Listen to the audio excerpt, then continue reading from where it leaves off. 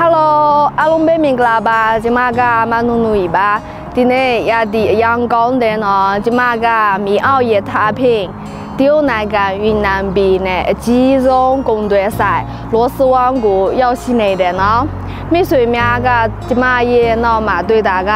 လောစဝမ်နိုင်ငံတကာကုန်သွယ်ဆိုင်ဖြစ်တယ်နော်ဒီဆိုင်ထဲမှာ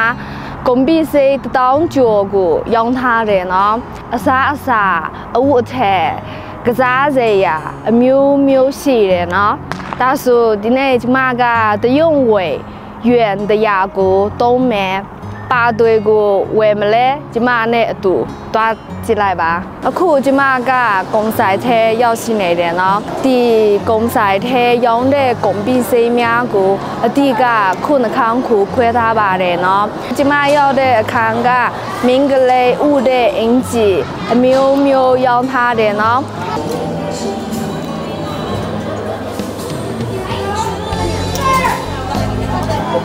第应季个原第二个东台围路哑巴的呢，热样最大的。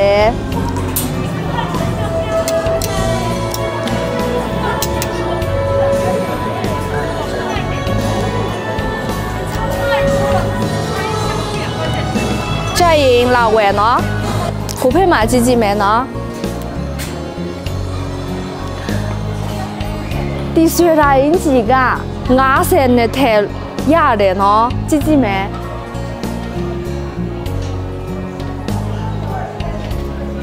ဒီအယောင်ကြိုက်လား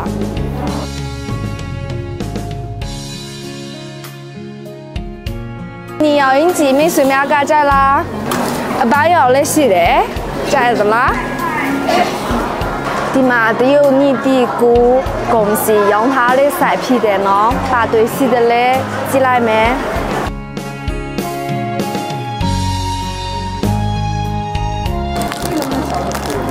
ဒီပုံချစ်စရာကောင်းလိုက်တာနော်ဒီစာကတရုတ်စာဖူးလို့ခေါ်ပါတယ်နော်ဖူးရဲ့အတိတ်ပဲကပျော်ရွှင်မှုလည်းရှိတယ်နော်ကံကောင်းတယ်လည်းအတိတ်ပဲရှိတယ်နော်ခုကျမအကုန်စီများကိုဝယ်တာနော်အဲ့လဲဝယ်တယ် 个嘞也喊武松来为人咯，啊，公龙园的呀，皮人咯，但是没算命噶，公算命个为情人，罗丝往个那为咯。